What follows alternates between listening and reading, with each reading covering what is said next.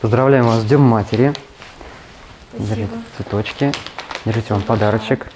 Вот, счастья вам, здоровья, растите, растите. Поздравляем с рождением ребеночка у вас. Ольга Фетисова – многодетная мать. Это ее пятый ребенок. Мальчика назвали Тимуром. Родился он всего пару дней назад. И сегодня, в День матери, она, как никто другой, заслужила поздравления. Спасибо большое за подарки.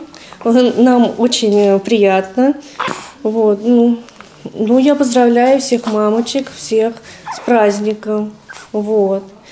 Ну, желаю крепкого здоровья. Активисты Рязанского отделения «Молодая гвардия» партии «Единая Россия» провели акцию в родильном доме номер два. Поздравили женщин, которые стали матерями как в первый раз, так и тех, кто, что называется, со стажем. Акция очень душевная, добрая, поэтому всем, а, естественно, мамам приятно и внимание наше, и забота, и небольшой букет цветов, он, а, конечно же, приятен всем.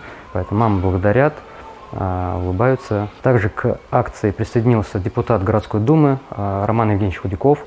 Он передал свои и слова благодарности, и также небольшие сувениры для наших мам. Акция ко Дню матери традиционная. Поздравляют и тех, кто выписывается. Встречают с цветами и подарками на входе. Я хочу сказать большое спасибо за то, что вы пришли в наш роддом, поздравили э, молодых юных матерей с Днем матери. Это очень большое звание для любой женщины. В утро воскресенья уже родилось двое малышей. Днем ранее, говорят, пятеро. Родов много. Родильный дом номер два обслуживает как город, так и районы. С праздником! Спасибо! Вот, поздравляем. А у вас, я не спросил, у вас же первый, да, ребенок? Да, у меня первый. Первый ребенок. Тоже девочка. Надеюсь, скоро она а меня как, будет поздравлять. А как назвали? Ниночка. Ниночка.